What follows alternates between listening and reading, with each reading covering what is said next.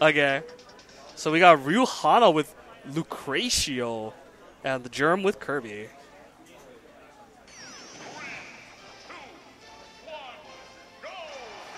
Josh, platform. On the platform. Yeah.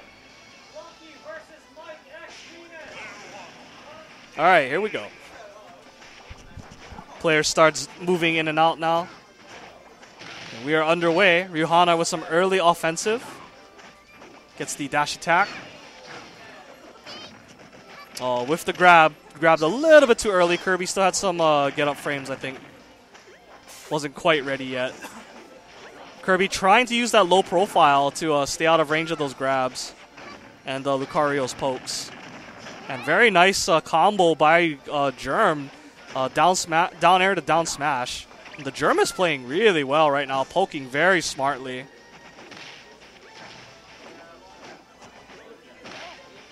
Yep. This guy has definitely played himself some Kirby. Uh, trying to use that uh, that back air wall right there as his go-to move.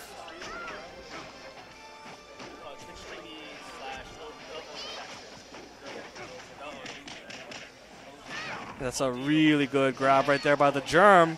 But now he's given Lucario percentage to work with. And now the aura is going to start taking effect. You can see it glowing right there. We'll see how familiar the Germ is, or Germ is with uh, Lucario's aura moves and properties. that slow aura sphere from uh, Ryuhana, covering a lot of space.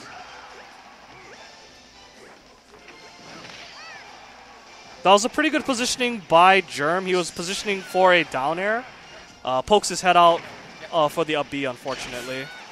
And a very nice uh, trap right there by Ryu Hana, putting the orb out so that he couldn't really do a whole lot and gets the free up smash. But Germ should be able to respond to this pretty easily as long as he can uh, trap Lucario and read his up B recovery. Good down tilt to interrupt the Aura Sphere once again. And Kirby with a very fast pummel works in about five or six pummels. Or four or five pummels, excuse me. Oh, hey, D Naught. Uh, is it D D Naughty 12. Hope I pronounced that right. This is winner's bracket round two for those of you just tuning in between uh, longtime tournament goer Ryu Hana and uh, newcomer Germ. And right now, Ryu Hana has really taken control of the game, but a nice up air uh, will kill him at about 200%. But Germ has a lot of work to do right now. He needs to find a way to kill Ryu Hana efficiently.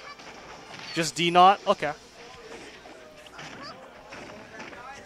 Needs to find a way to kill him efficiently without letting the aura become a factor. But that's easier said than done.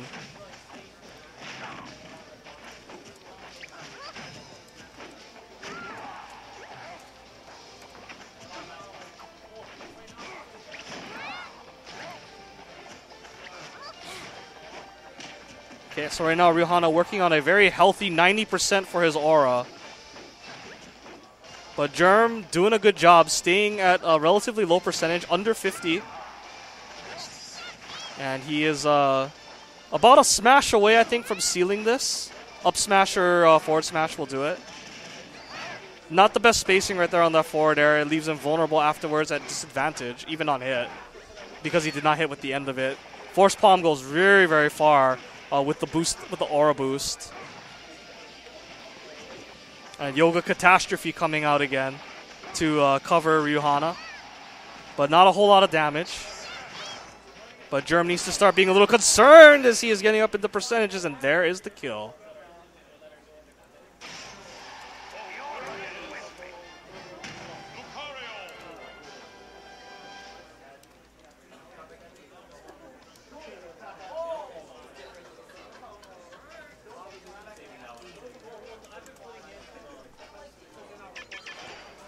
Yeah, to D Not in the chat, uh, we are live at the Planet Honolulu, so if you live in Hawaii, you can come on down.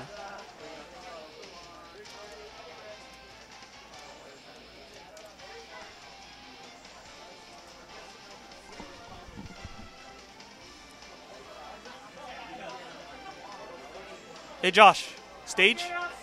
FD.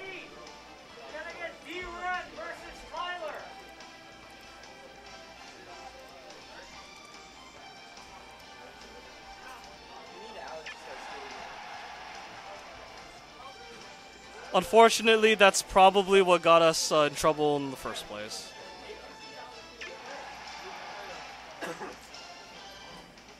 Yeah, Dina, just watch and enjoy. I appreciate the views, man.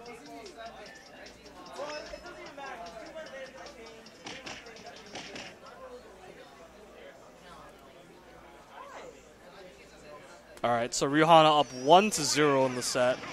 Final destination is the stage.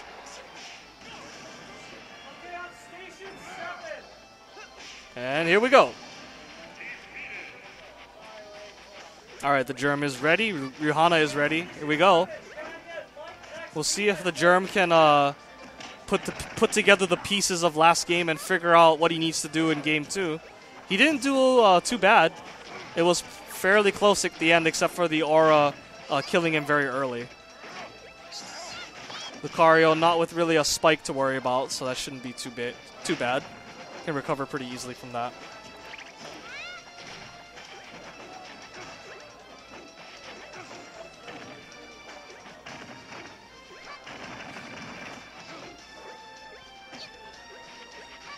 All right, all right, all right. So Germ doing good again, staying at a decently low percent. Uh, he just needs to be careful once he gets Rihanna into the triple digits and avoid uh, the aura attacks, the extra range and whatnot. The uh, space of FD should be good for him, though. Uh, it'll allow him to uh, get away from those aura spheres a little bit. I wonder if uh, he copies the custom moves if he absorbs the special bees. Very nice. That's the that's what he needs to do right there. The germ or germ needs to get those early kills, putting Lucario at percentages where he can can smash to kill, but also to keep uh, make sure that he doesn't get to use his aura boosts. Make that a non-factor. It's exactly how he needs to play this matchup, and it looks like he understands that now. And Josh needs to watch out for those uh, smash attacks. He needs to uh, be aware of what Kirby's going to be looking for and play around those because as long as he can stay alive, uh, the trades of, in damage are in his favor by a lot. And yeah, it's a lot harder to get mileage out of those slow fireballs without the platforms there to uh, position everything correctly. And it looks like uh, Rihanna fishing for that F smash right there. Yeah, Rihanna really needs to get a kill immediately. Now the tables have been turned around. It looked like Germ wanted to uh, up B over that uh, slow fireball, but didn't position it quite correctly. Good, uh, good choice by Germ. Uh, just get the pummels in. It's uh, easy, free damage. Nice use of the neutral air. I really like the way that Germ is playing the second game. Rihanna's doing what he can, but obviously the stage is not doing him a whole lot of favors. So I'll expect to see either a character change or a new stage for game uh, three if it comes to that. Because right now the Germ is in full control. And now we'll see if uh, Rihanna gets to play with the aura that he's built up and not get smashed uh, right away. That's a really nicely timed roll, reading the aura sphere by Germ, but a little bit too close. Didn't get the punish that he was looking for. He kind of touched the aura sphere too. And right now, the Germ just needs to not get flustered and rush in too much. Rihanna is clearly trying to zone him out with uh, uh, runaway force palms. And as long as he doesn't get baited into too much damage, he should have this. Oh, I really like that up air option. That was a very nice uh, up air check right there with the back part of the hitbox. Oh, wow, is that it? Yeah, that's it. Jab attack for the win. I really like that up air option. That was a very clever use of up air. That was very, very nice.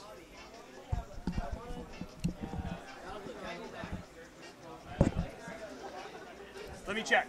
Let me check. Let me check.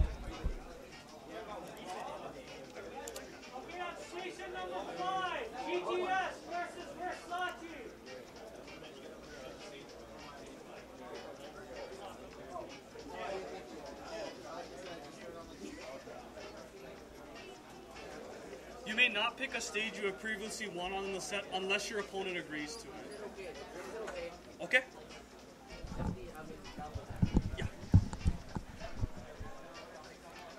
Okay, there was a slight confusion as to whether or not we were going back to Battlefield or not. But the but Germ has said okay, Battlefield is fine. He did not have to say okay, but that is what he is going with.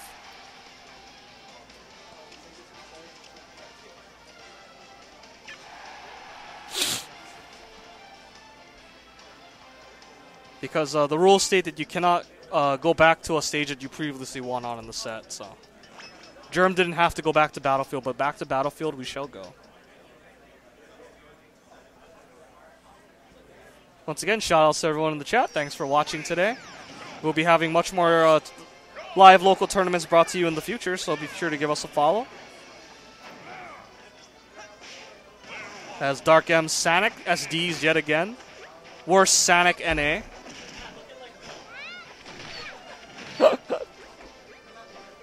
here we go. We'll see if uh, Germ can uh, do a better job of avoiding the Aurasphere traps or the Aurasphere coverage. It also really helped that he got a really early kill in the early going on the second game. Got a up smash that basically put Lucario into aura range and then dead, all in one move. And once again, uh, he is having his way in the early game, but Ryuhana really seems to pick it up in the mid game. Once his second first stock goes into the red, that's where things kind of start to change. Good grab by Germ. Well, I was expecting him to grab, but he gets the grab anyway, just a little bit later.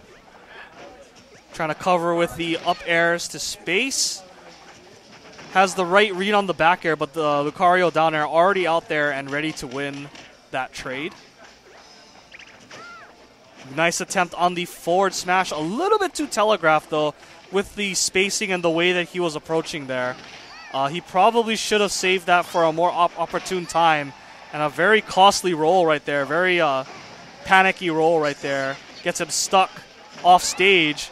Oh, but the down smash gets beat out by the up smash of Germ. And Germ has a lead once again. And they get doing exactly what he needs to do needs to get those uh, very timely hits on Lucario when he's just about to go into the red, and where his aura is is at its most effective, and just kill him outright with Kirby's uh, up smash or forward smash. I mean, obviously Kirby has more than those for kill options, but those are definitely the best go-to options.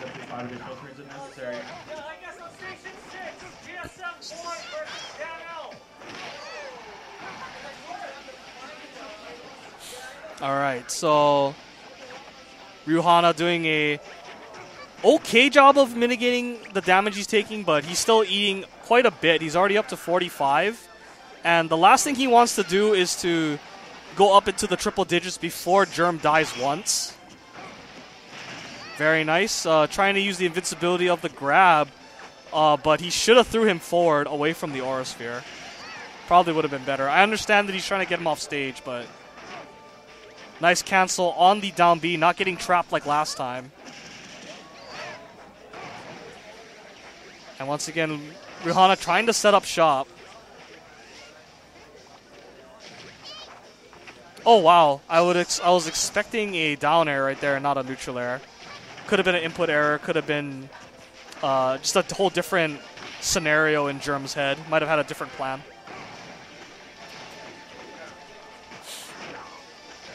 Very nice. Up air and then back air trap. Ooh, he tries to read it. Almost gets a, a shield break. And the up smash trading with the grab. Ryuhana not able to grab in time. Oh, and then Germ running into the fireball. But the damage has been done. Ryuhana is in the red again, almost at 100%. And Kirby is fresh. Which means any errant smash at this point will probably get the job done. I would have liked to see him throw out an up smash after that forward air right there instead of down tilting. And again, he just needs to not force these uh, kill moves too much. Stay patient between the Aura Sphere spacing, and then, yeah, the kill will come. All right, good job, Germ. Good job. Kirby is victorious. Tough break to Ryuhana, but uh, Germ just uh, was able to figure it out and get those kills when it when he needed to. This is winners bracket round three. The winner of this matchup will advance to quarterfinals, I believe.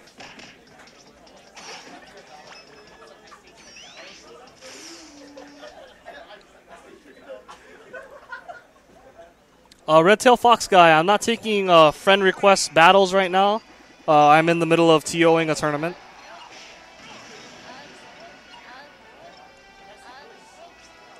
As I trot off, and here we go. LT going with Game & Watch, obviously expecting the pick by Kenny to go Ness. The bucket obviously will come into play. I don't know how effective it'll be against him, though. We'll see. Game & Watch not really known for being a popular tournament pick, but LT has been known to make unconventional characters work. He tries to upbeat a safety, but he does get cracked by the baseball bat uh, before he evacuates. And LT on the offensive, trying to steal the bucket. Oh, and he makes it back. LT is broken. LT is broken. He gets the gimp. That is amazing. That was ridiculous.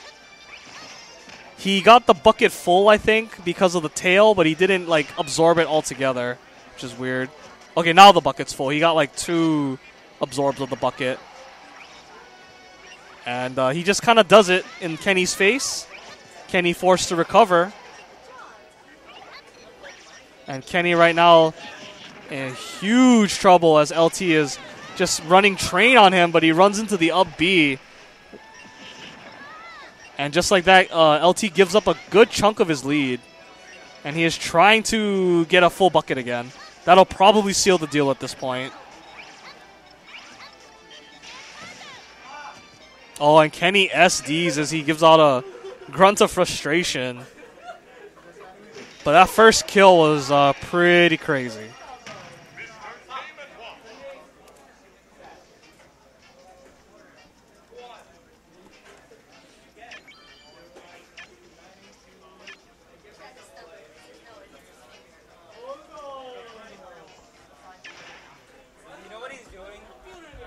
What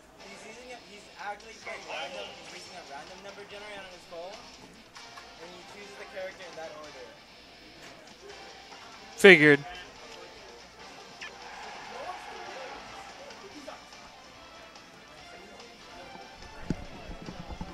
Battlefield.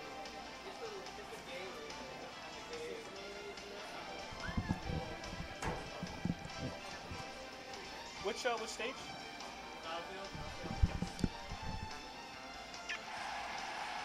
So yeah, LT is actually using a random number generator to determine what character he picks. That is how it works. He can't go random select right now because custom moves are available, and when you do random select with custom moves, you randomly get assigned equipment as well. So, pretty big flaw right there in the design of customs and random select. All right, so LT random selecting Falco for a second game. We'll see if he can uh, get the best of Kenny again. This should be a lot harder for him if Kenny can uh, avoid getting gimped early, like last game. Yu-Gi-Oh! Players Pranks for round three have been posted. Please find your seat. Side B much laggier with Falco in this version. You can't uh, auto ca- you can't side B cancel anymore the landing lag by doing it immediately out of a jump. I believe there is still some landing lag left over even if you do that. Although it's much although it's much better than just doing it on the ground. And the trade-off being that you can get your double you can double jump after it now. You don't fall go into special fall anymore. And Kenny Poo doing a pretty good job this time of keeping LT under control. Went for a stage spike attempt right there with the back air, but Kenny Poo not a high enough percent to get that to go.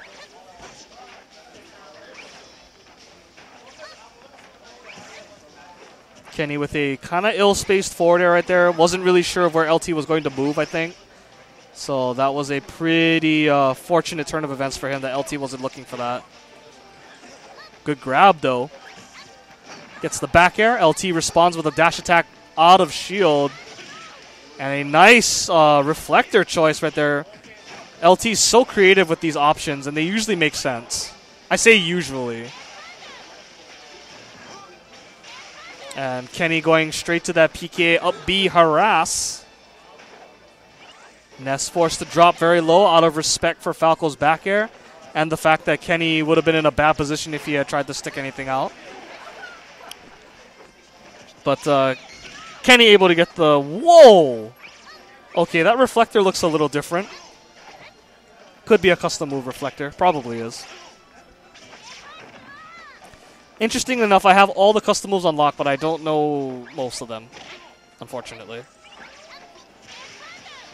Alright, so Kenny in a pretty good position right now. He has Kev at about 50 60%. And that's a very efficient 40% with the fire to bat. Nice uh, PK up B, PK Thunder. Two hit to the neutral air. Not a whole lot that LT can do in this situation. He's already at back throw percentages, I believe. And Kenny was looking for it right there. Good back air by LT will seal that stock up, but Kenny still has one more to go. And that should be all he needs to close this out. Nice up air. Didn't even need the back throw. As Kev is his turn to moan in frustration. So Ness evens it up at one game apiece. We are going to game three. Stop. I hope that's bad.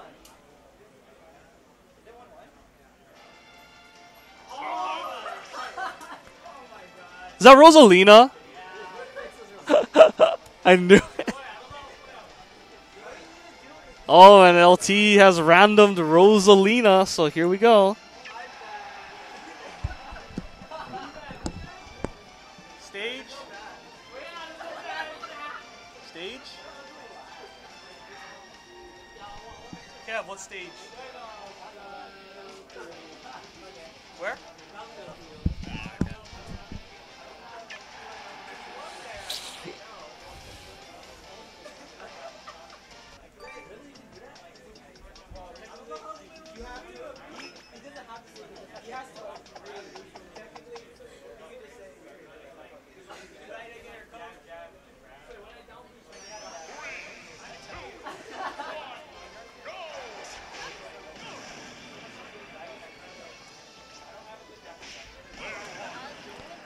All right, I'm pretty getting pretty good at that. okay, so LT has random selected Rosalina with his random number generator. And he doesn't really like this character, but I'm sure he'll do what he can with it. Rosalina's a pretty gifted character after all. One of the most hotly debated new characters. Some are saying that she's OP, some are saying that she's overrated. Although the some that say she's overrated is a very small few the vast majority is saying that she either needs to be banned in tournament, needs to be nerfed, or is just uh, not fun to play against in general. Nice by Kenny Poo to try to get uh, the Luma out of there, but LT one step ahead. That was really interesting, sticking out Luma right there to eat the up B to try to see if Kenny wouldn't make it all the way back. Good jump out to avoid the follow up from Kenny Poo. He is neut- nearing backwards in retreat just to get space for himself. And you can see Kev not really too comfortable with this character. He's kind of just uh, doing what works, not going for anything too crazy. But with Rosalina, you don't really have to go too nuts. Uh, her her standalone tilts and aerials are usually good enough to get the job done. Okay, Luma has been eliminated for now. It'll be back in a few seconds, though. I really would have liked Kev to look for an up smash right there. That could have sealed it. That could have been an up smash right there, too. Kenny poking his head over the ledge.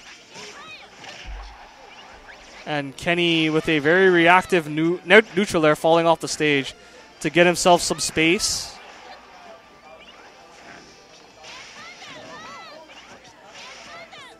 And Kenny doing all he can to hold on right now, but a nice up tilt by Kev, using the battlefield platforms to bait Kenny into trying to go over him, thinking that he had coverage.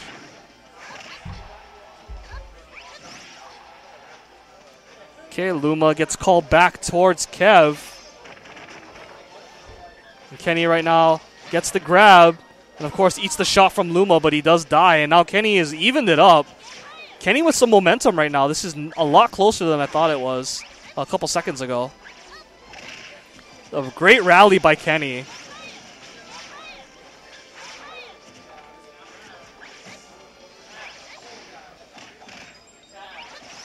Kev sticking out Luma.